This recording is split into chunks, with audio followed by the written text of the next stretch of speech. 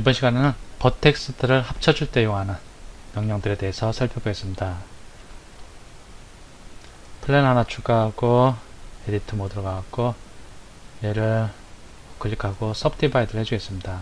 그리고 여기를 좀 강제로 좀 뜯어내 주겠습니다.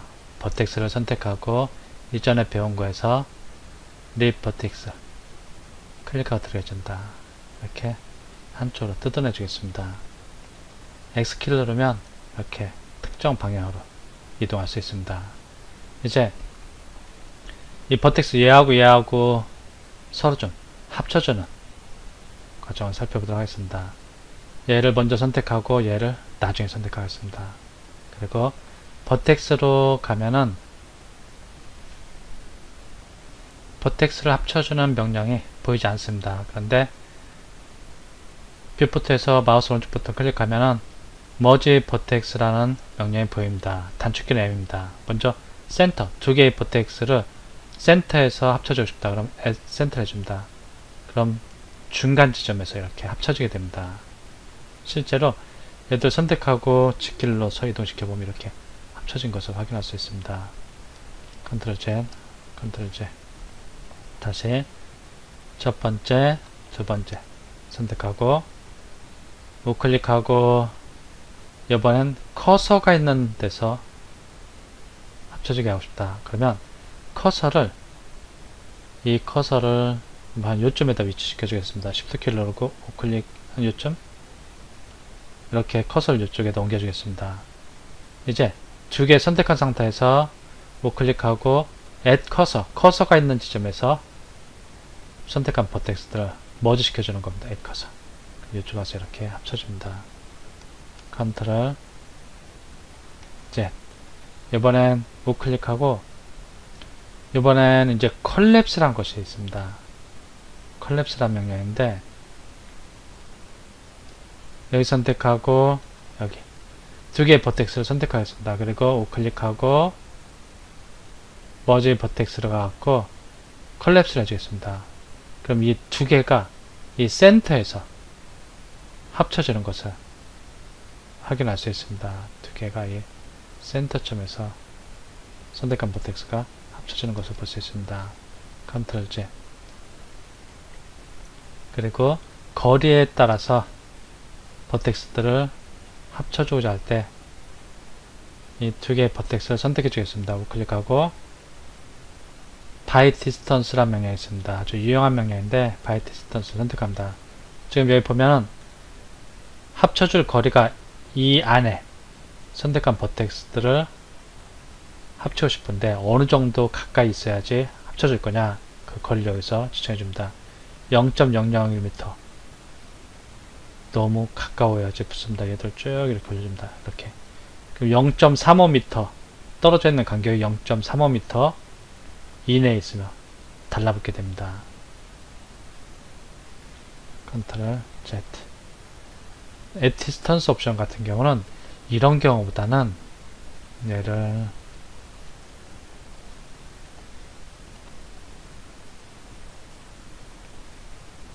여기서 UV sphere로 살펴보겠습니다. 아, 3D 커서가 저기 있어서 그런데 컨트롤 Z Shift C를 누르고 3D 커서를 원점으로 해주고 UV sphere를 넣어주겠습니다. 라이트 카메라 보이지 않게 하고 edit mode로 가고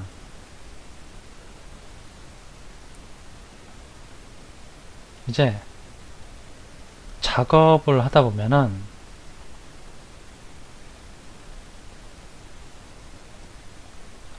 이 여섯 개를 한번 extrude 해주겠습니다. extrude 이렇게 extrude에다가 그냥 왼쪽 마우스 버튼 클릭하면 이렇게 티가 잘 납니다. 그런데 컨트롤 Z, 컨트롤 Z 다시 extrude 합니다.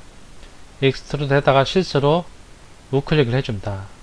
그럼 이 face들이 extrude 되겠네 extrude 됐는데 원본과 동일한 위치에 붙어있는 상태입니다. 실질적으로 G킬 누르고 이렇게 이동시켜보면 extrude는 되어 있는 걸 확인할 수 있습니다. 우클릭하고 그런데 이렇게 봤을 땐 잘 티가 안 납니다. 여기가 아, extrude가 돼 있는지 뭐 아니면 뭐 정상적인 건지 얘들 한번 Tab키를 눌러서 빠져나가 보겠습니다. 여기서도 보면 이렇게 크게 티는 안 납니다. 크게 티는 안 나는데 나중에 이제 텍스터링 작업 재질 같은 걸 입히거나 그럴 때 문제가 생길 수 있습니다. 얘들이 조금 이동이 잘 안되는데 다시 한번 탭키 누르고 들어가겠습니다. 얘를 잠깐